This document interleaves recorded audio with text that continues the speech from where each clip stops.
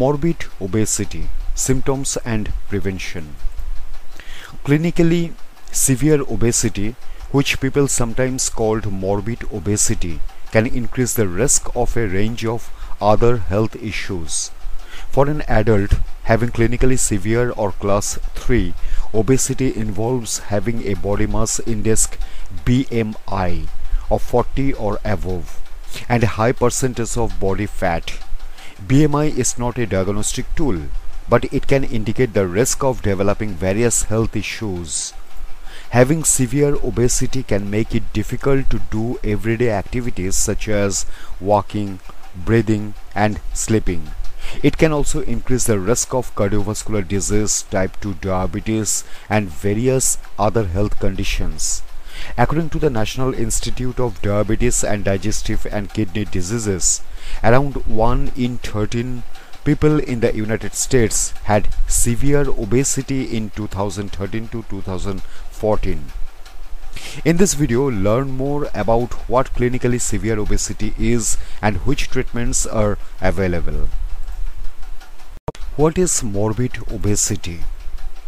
When an adult has severe obesity, they have a high percentage of body fat and a BMI of 40 or above. BMI is a scale that helps medical professionals tell whether a person has a risk of developing certain health conditions. The following chart shows different classifications of BMI. BMI and description. Under 18.5, underweight. 18.5 to less than 25, moderate weight. 25 to less than 30, overweight. 30 to less than 35, class 1 obesity. 35 to less than 40, class 2 obesity. Above 40, class 3 obesity. A person with obesity has a greater risk of heart disease and other conditions. The higher the class of obesity, the greater the likelihood of developing these complications. However, it is worth nothing that a person's BMI does not necessarily indicate whether they have a healthy weight. It does not reflect the percentage of muscle mass compared with the percentage of fat in the body. Checking a person's waist to hip ratio and the distribution of fat in their body can give a better idea of their risk of developing complications. Scientists have linked a high waist circumference due to body fat with a greater risk of cardiovascular disease. Risk factors Certain factors can influence the risk of developing any class of obesity. For example, dietary habits and activity levels can affect a person's levels of energy. Socio-economic conditions can limit access to fresh food and the ability to exercise. Genetic factors may play a role. Family history may contribute through both genetic and environmental factors. Some medical conditions have links with obesity including Cushing's syndrome and polycystic ovary syndrome. Stress and anxiety can increase levels of the hormone cortisol, which can affect fat storage and weight gain. A lack of sleep may contribute.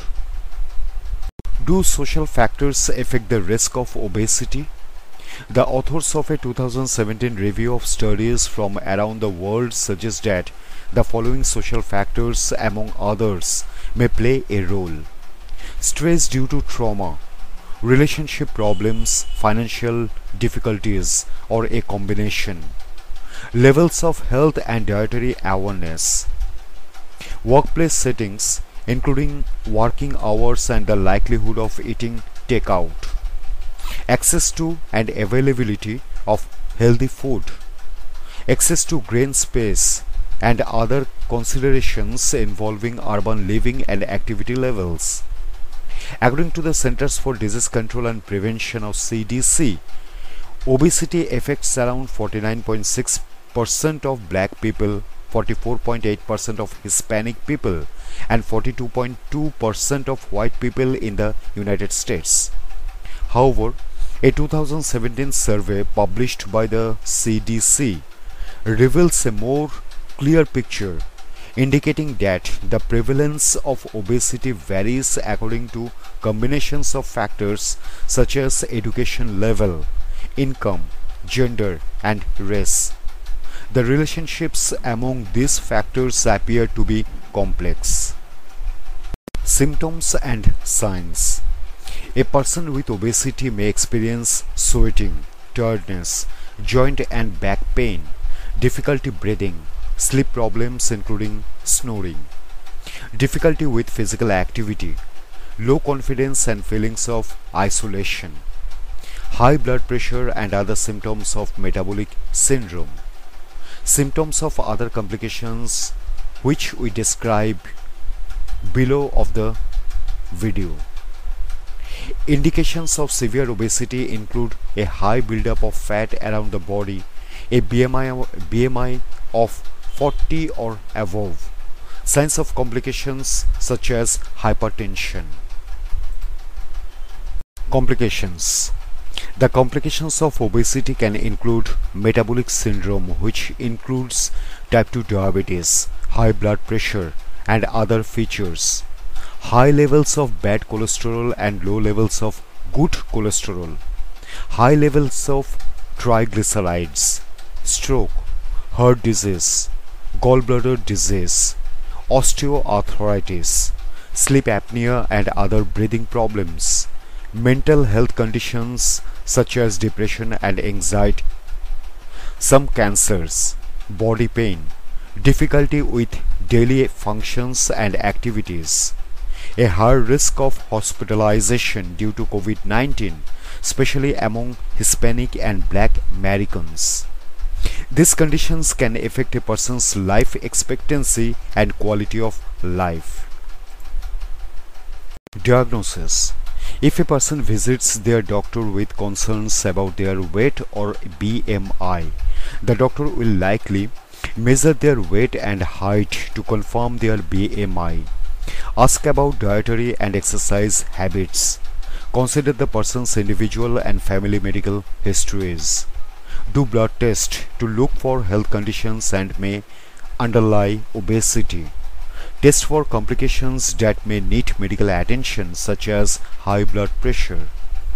Prevention There is no single way to lose weight or prevent weight gain.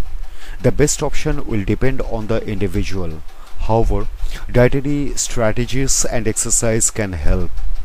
Dietary tips can include consuming plenty of fresh fruits and vegetables, favoring whole or unprocessed foods, avoiding trans fats and saturated fats and opting for healthy fats such as from sunflower or corn oils limiting the intake of sugar and sweetened foods monitoring the caloric intake if a healthcare professional recommends this. Using a smaller plate, eating only at regular times, eating more slowly, avoiding triggers and habits that lead to overeating such as having some cake with coffee at break times. Current guidelines recommend that when possible, adults get at least 150 minutes of moderate intensity activity a week. This could include walking, swimming, or cycling, for example. It might involve 10 minute sessions several times a day on most days of the week. A doctor can advise about how much and what type of exercise a person should do, depending on their overall health, age, and other factors.